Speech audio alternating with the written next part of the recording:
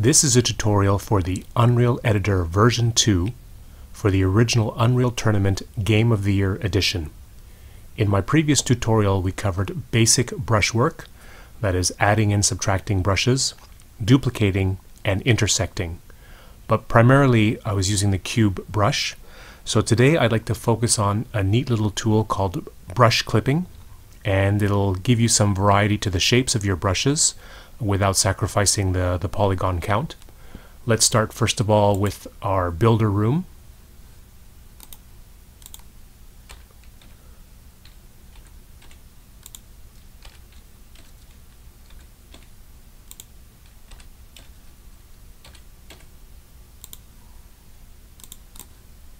and then we'll open up a texture package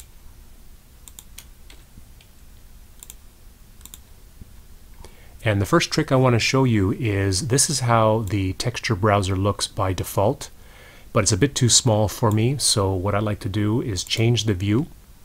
Right now it's a set size, but let's go with the variable size. And I mean, I'll show you at 100%, but sometimes you can go even bigger than that depending on the size of your screen. So the advantage of this variable size is you will see how they truly are because these textures are 128 whereas these textures are 256. So you get a feel for what the designer of the texture intended this to be used. And also it's a lot bigger. And if you have a bigger screen, you could even go 200%. And now you can really get to see the details and the recurring patterns. So let me switch back to 100%.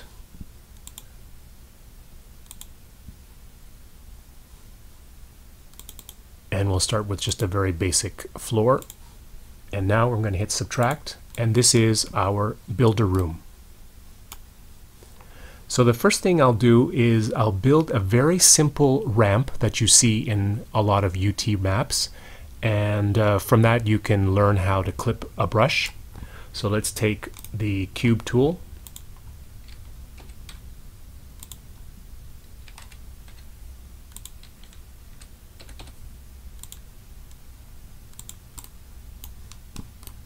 and there you can see the cube tool there. I'll just zoom in. Actually, I'll also turn on the joystick icon so you can see things dynamically as they change.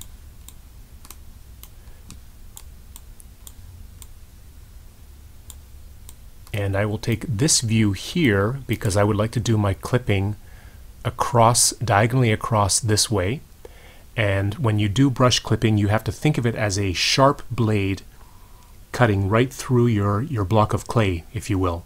So the first thing you need to do is you need to go to this icon, which is called brush clipping. Normally by default, you're going to be using this icon, which is called camera movement. But just for now, because we're clipping something, we're going to take this one so that it's selected. And now you'll see that the cursor has changed to a little clipping icon. And this is very easy. So in the window where you want to make your cut with your blade, you're going to hold down the control key, uh, yes, the control key and left mouse button and click right on the vertex. So there's your first, what we call pin.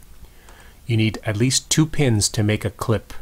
So I'm going to take the mouse over here, again, control key, hold it down, and then left click right on that corner.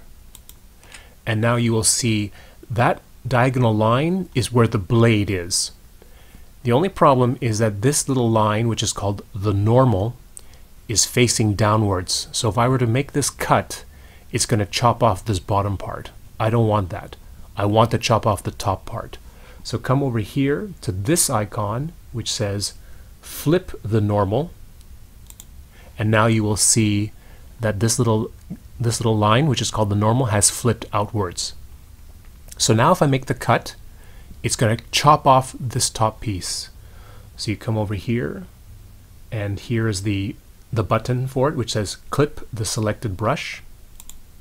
And there you go. So now remember, you have to go back to camera mode. So click on this icon. And now you can, I'm just going to rotate the camera so you can see that I've now created a nice little ramp. Uh, let's take a different texture so you can see it better. And now I don't need the pins anymore, so let's just get rid of them. This is the icon here. It's called delete clipping markers. So let's get rid of that. And now let's add our ramp. And for some reason, which I haven't been able to figure out, this texture doesn't copy over. So you have to click on it, right click, and then apply that texture. And now you're fine. So this is our first ramp. So let me, uh, first of all, click on the wireframe and get that out of the way. And then take this piece, you can see, let me just get down there. And first we're going to move that brush down to the floor.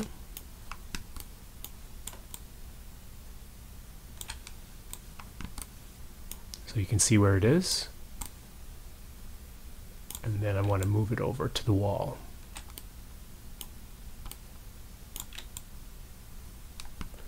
Into the corner.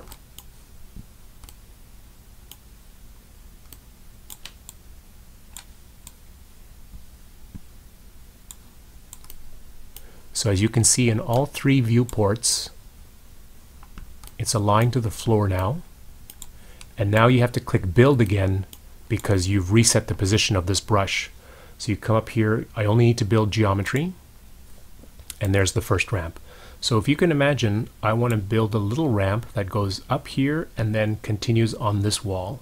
So all you need to do is while this brush is selected, right click on it, hit duplicate, and now I have the second one and then come over here to this icon which is brush rotate click on that so the very it's very easy to rotate this brush you hold down the control key and the right mouse button and then you just swing and you keep rotating until it's perfectly perpendicular which is like there then always remember go back to camera mode and now control key and your left mouse button to move it into the right spot. And as you can see, it's on the floor, but I don't want that. I want this to be a little bit higher. So let me show you in this window here. Hold down the control key and left mouse button and drag it up. That's where I want it to be. And again, hit the build geometry button so you can see the progress. So we're almost there. I now need one little block to fill out this gap here. So we take our normal tool, which is the red wireframe, change the attributes. So this is going to be, instead of 256, 384.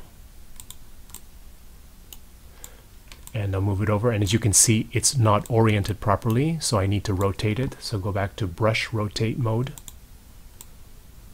Control, hold down the control key, hold down the right mouse button, and rotate it over so that it's perpendicular. Go back to camera mode and put it properly into place. And as you can see, it's too high up, so I have to drag it, drag it back down to the floor. Like that. Now you can click on Add, and that's the third brush. So again, you have to hit Build Geometry and it's fine. So let me move out the red wireframe out of the way so you can see the ramp better. And you can see that there's some issues here with the alignment of the textures. That's because I've used three different brushes to make this ramp. So what you need to do is hold down the control key, left click on each of the three surfaces, right click, align wall direction, that's the first piece, and then right click again, align wall panning. And now you can see that these textures are perfectly aligned. And now we have to do the same thing with the floor. So one, hold down the control key, two, and three. Right click, align as the floor. And now you can see that they're aligned. And let's see this in the game. Let's add a light. Actually, let's add a couple lights. So I'll add one over here, a little bit up. And then I'll add another light higher up. Let's say around there.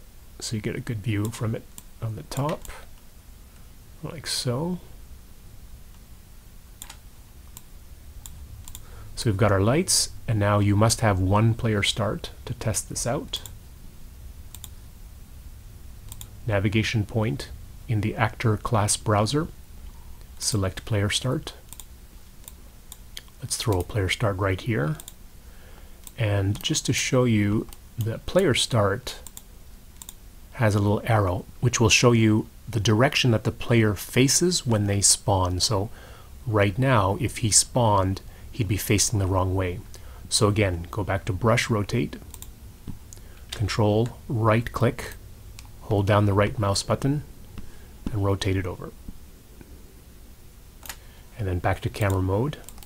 And let me just move it over a little bit so you can have some running room. So we have our player start, our ramp, and our lights. So this time you can hit this button, which is build everything. And then you hit the joystick button to try it out.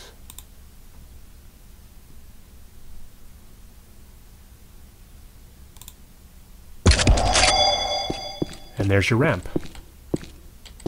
So you can use this clipping technique for all sorts of things. Ramps, wall supports, ceiling beams, light fixtures, houses, anything where you need some variety in your shapes and you, you just don't want plain cubes all over your map.